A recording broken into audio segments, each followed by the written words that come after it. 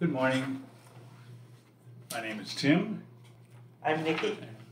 We're here to bring you the uh, good news for today for January 21st. And uh, our reading from uh, Scripture today is fr- taken from John chapter 4.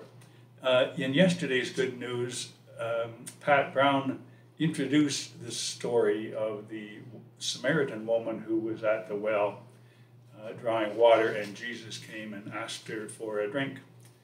And uh, so we're going to continue on from there. And because there are two of us, and because we are, uh, we're either, well, I don't know what we are, but we're, we're going to try and do this as a, a bit of a, uh play, if you like. So we're going to dramatize this a little bit, but it won't be very dramatic. Trust us.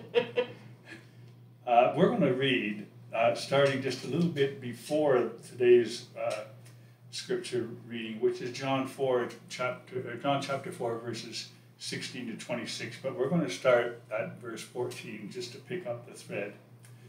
Uh, I'm playing the part of Jesus. That's a very presumptuous thing to do, but uh, we decided Nikki is really not eligible to play that part, and I don't have a wig that I could wear. so Jesus starts off saying, But anyone who drinks the water that I'll give them won't ever be thirsty again. No, the water I'll give them will become a spring of water welling up to the life of God's new age. Sir, give me this water. Then I won't be thirsty anymore, and I won't have to come here to draw from the well. Well, then, go and call your husband and come here. I haven't got a husband. You're telling me you haven't got a husband. The fact is, you've had five husbands, and the one you've got now isn't your husband. You were speaking the truth. Well, sir, I can see you're a prophet. Our ancestors worshipped on this mountain, and you say that Jerusalem is the place where people ought to worship. Believe me, woman, the time is coming when you won't worship the Father on this mountain or in Jerusalem. You worship what you don't know, we worship what we do know. Salvation, you see, is indeed from the Jews. But the time is coming, indeed it's here already, when true worshippers will worship the Father in spirit and in truth. Yes, that's the kind of worshippers the Father is looking for. God is spirit, and those who worship him must worship him in spirit and in truth. I know that Messiah is coming, the one they call the Anointed. When he comes, he'll tell us everything. I'm the one, the one speaking to you right now. This is the, gospel of Christ. Thank you for uh, putting up with our little play.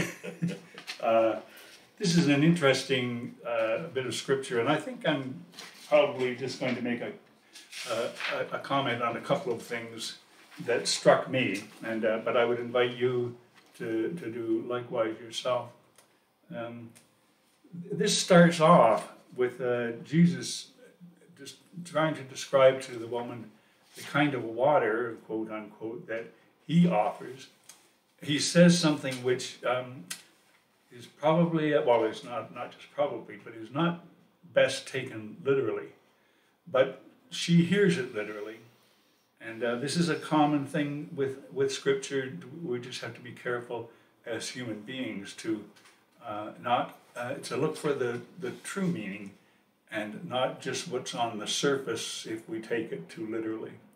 So he, he starts off saying that he'll give water that uh, she'll never be thirsty again. Well, that's that's uh, no no wonder she says, well, if you can give me this water, that'd be great because then I won't have to come here to the well every day and and draw water. And of course, that wasn't what he meant.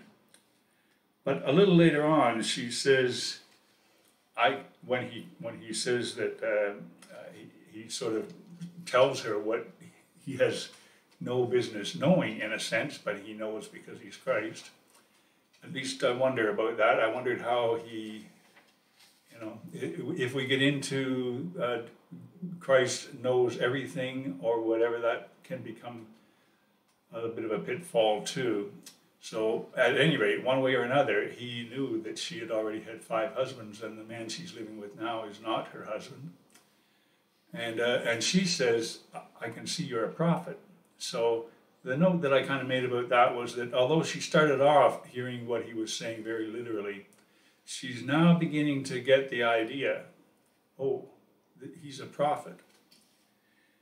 And then, of course, the, the, the, the, sentence in here that is a very important sentence is probably, it ought to be maybe one of the, if you were to collect the 20 or 25 most important verses in Scripture, perhaps this would be a candidate, where Jesus says, God is spirit, and those who worship him must worship him, him in spirit and in truth. And uh, that's. Uh, that's certainly, um, you know, the, the, in, in the Old Testament, the Jewish people were constantly being tempted to, to uh, adopt the idols of, uh, of the other countries and, and uh, peoples that they interacted with. Uh, but the, in, in the Old Testament, God, through the prophets, repeatedly tells them don't make these images and bow down to them. Uh, and so this is a, a, very a very pithy statement about that the God's nature in that regard. And finally, uh, this ends with uh, Jesus declaring to the woman at the well that he in fact is the Messiah that they have all been waiting for, and that's that's just an amazing. Uh, uh, revelation of Christ right there that he's saying, Yep, you got it, that's me. anyway, uh, we hope that speaks to you one way or another, and uh, I think he's going to pray, I think, just to close off, and we'll, then we'll be on our way. Join me in prayer.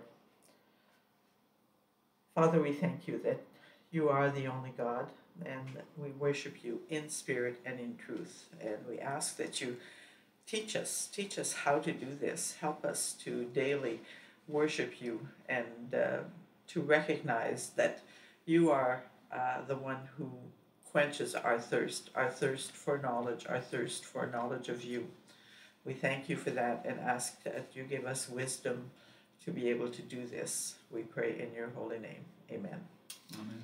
Thanks for joining us. Have a yes. great week, and uh, we'll see you next time. And enjoy the weekend and, and stay safe. Thank you. Bye bye.